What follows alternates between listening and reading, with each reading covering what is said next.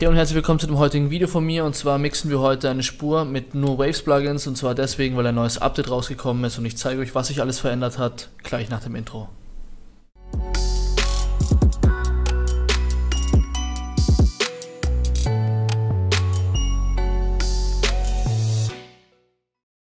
So, wir starten wie gesagt gleich rein. Ich habe hier ähm, schon mal die neuen Plugins geöffnet, also es kam ein neues Update raus, das ist die 11. Version, 11.0 oder irgendwie sowas ähm, von den neuen Waves Plugins, vor allem das Renaissance Bundle hat jetzt ein komplett neues Interface und das schauen wir uns an. Vorher noch die Spur mit Antares Autotune und dann mit Waves Autotune, weil wir uns hier heute mit Waves beschäftigen. Kurzer Unterschied, weil das ist natürlich auch dabei. Ich hab den Drap, ich hab alle gekillt, Molly ist drin und ich lebe den Film, spiele eure Spiele nicht mit und wenn ich hier spiele, ja dann bin ich am Gewinn. Und dadurch, dass es ja heute um Waves geht, kurzer Unterschied mal wieder zu dem Waves Tune Realtime. Ich hab den Drap, ich hab alle gekillt, Molly ist drin und ich lebe den Film, spiele eure Spiele nicht mit und wenn ich hier spiele, ja dann bin ich am Gewinn. Ich bin der King und ich mach was ich will. Und ich glaube, wir werden auch gleich dabei bleiben, damit wir heute ein bisschen auch das Wave-Feeling hochhalten können. Und zwar, was sich als erstes verändert hat, wie gesagt, ich habe jetzt hier den REQ 6 drinnen. Da gibt es auch noch andere, und zwar den 2er und den 4er. Das ist ein vierbandiger und ein zweibandiger EQ. Der vierbandige sieht so aus, aber wir schauen uns sowieso generell jetzt den sechsbandigen an. Und zwar, was hat sich getan? Ich blende euch auch immer das alte Interface ein. Ihr seht, es ist komplett von dunkel auf hell gewechselt, von blau auf, ja, so ein verwaschenes Weiß. Und es schaut sehr modern aus, also zumindest einmal vom Style her auch ein bisschen gewöhnungsbedürftig, muss ich sagen. Ich habe es auch mir auch selbst noch nicht angeschaut, aber es ist natürlich von der Funktionsweise her gleich wie das alte. Ein paar Sachen haben sich dann doch verändert. Also hier oben kann ich halt jedes Band einzeln durchklicken. Ich will jetzt das 6 Band bearbeiten, kann mir hier die Einstellungen anschauen. Und so habe ich halt alles auf einen Blick. Wir probieren auch gleich die Tonspur ein bisschen zu EQen, damit ihr euch sehen könnt, damit ihr auch sehen könnt, wie das workt, wie das Ganze funktioniert. Ihr seht schon, er zählt hier oben mit, bei wie viel Herz ich bin. Ich hab den Drap, ich hab... Ja, zeigt er an, das ist auch nicht schlecht. Und Low Cut kann ich hier setzen, perfekt.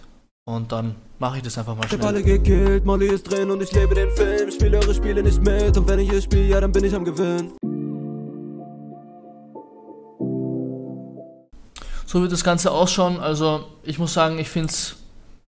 Naja, es ist natürlich gewöhnungsbedürftig von den Farben her und von den Formen her, aber es ist von der Funktionsweise her wirklich besser geworden, finde ich. Ich finde, dass das ganze Interface jetzt hier, zumindest der Teil hier, schaut sehr gut aus, dass ich hier unten alles sehr oberf also sehr übersichtlich habe und natürlich auch, dass ich das grafisch sehen kann, weil er natürlich hier von 31 Hertz auf 125 springt, dann gleich auf 500, dann kann ich halt hier gleich sehen, wo ich bin.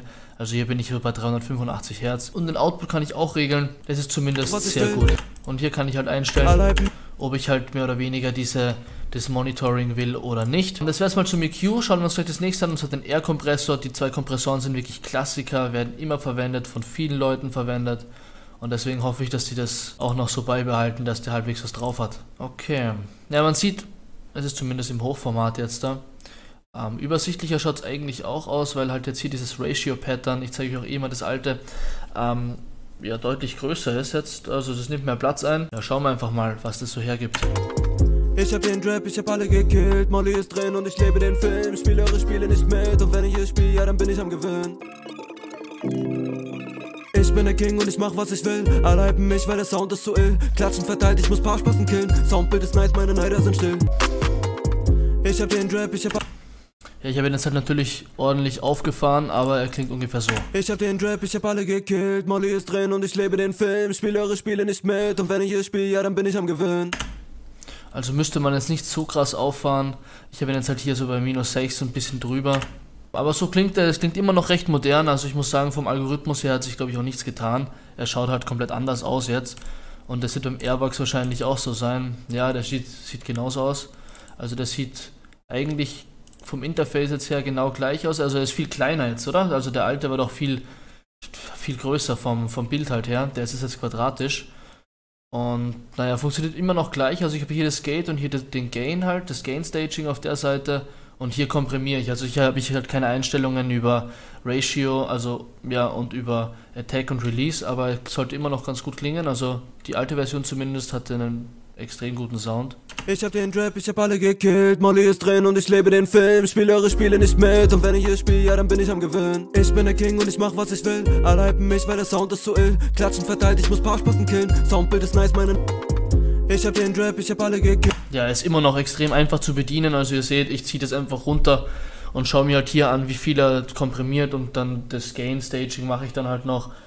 Also er geht immer noch genau gleich leicht zu bedienen wie der alte. Schauen wir uns mal die im Vergleich jetzt an, die Spuren. Ich hab den Drap, ich hab alle gekillt. Molly ist drin und ich lebe den Film. Spiele eure Spiele nicht mit und wenn ich es spiele, ja, dann bin ich am Gewinn. Ich bin der King und ich mach was ich will. Alle hypen mich, weil der Sound ist so.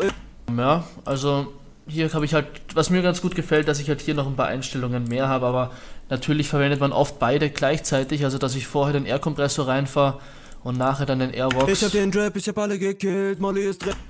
So, und dann schauen wir uns auch den Airwarp an. Okay, ja. Sieht natürlich auch hell aus, aber ansonsten, ich glaube, der alte startet auch mit Hall 1, Hall 2. Ich glaube, von den Presets her ist nichts Neues dazu gekommen. Okay, und ich kann halt jetzt hier oben anschauen, ob ich gerade beim EQ bin oder ob ich jetzt hier gerade den Reverb mir anschaue oder ob ich mir alles anschaue. Na gut, dann werde ich das einmal kurz bearbeiten, damit wir uns mal einen Vergleich anhören können. Ich hab den Drap, ich hab alle gekillt. Molly ist drin und ich lebe den Film. Spiele eure Spiele nicht mit und wenn ich es spiele, ja, dann bin ich am Gewinn. Okay, also jetzt klingt die ganze Spur so, wenn ich sie, wie gesagt, mit allem komprimiere und bearbeite. Ich hab den Drap, ich hab alle gekillt. Molly ist drin und ich lebe den Film. Spiele eure Spiele nicht mit und wenn ich es spiele, ja, dann bin ich am Gewinn. Ich bin der King und ich mach was ich will. Alle hypen mich, weil der Sound ist so ill. Also ich muss sagen, vom Sound her immer noch sehr modern, immer noch sehr cool. Und den Air Channel, den habe ich auch schon mal gezeigt in einem Video zu meinem 30 Euro Plugins Empfehlungsvideo, weil ich halt hier würde ich eigentlich immer noch empfehlen. Ich finde das Design jetzt sogar besser. Ähm, also man hat halt hier den EQ, den man einzeln auch holen kann. Das war genau der hier. Also der vierbandige halt, also den sechsbandigen hat man hier nicht. Ähm, und dann halt man das Gate, Air-Kompressor oder den Airbox und kann halt hier alles einstellen. Und ich muss sagen, das gefällt mir sogar noch besser vom Interface her, weil ich hier beim, weil ich hier sogar bisschen übersichtlicher ist es, glaube ich. Also mit dem EQ könnte man eigentlich auch schon recht gut detailliert arbeiten, weil beim alten, der war schon so klein irgendwie und man kann das Fenster ja auch größer machen, oder? Wenn ich mich, es mich da jetzt nicht täuscht. Naja, das wäre es einmal zu dem Channel, den habe ich auch schon mal gezeigt. Und ansonsten, wie gesagt, die Spur hört sich jetzt so an. Ich hab den Drap, ich hab alle gekillt. Molly ist drin und ich lebe den Film. Spiele eure Spiele nicht mit und wenn ich es spiele, ja, dann bin ich am Gewinn. Ich bin der King und ich mach was ich will. Alle hypen mich, weil der Sound ist so ill. Klatschen verteilt, ich muss paar Spasten killen. Soundbild ist nice, meine Neider sind still. 30 Gramm, ich pack es rein in den Joint. Wie gesagt, das war's mit dem heutigen Video. Kurze Abstimmung, ob ihr die Waves Plugins verwendet oder nicht, weil wenn ihr sagt, ihr verwendet öfters Waves Plugins, dann haue ich auch mal ein paar Presets raus für euch oder ansonsten für Fabfilter oder andere Plugin-Hersteller. Abonniert auf jeden Fall den Kanal, es werden noch mehr Videos kommen. Schreib mir auf Instagram, falls du willst, dass ich dir was mixe oder falls du Fragen hast, irgendwas brauchst. Und ansonsten, wir sehen uns im nächsten Video.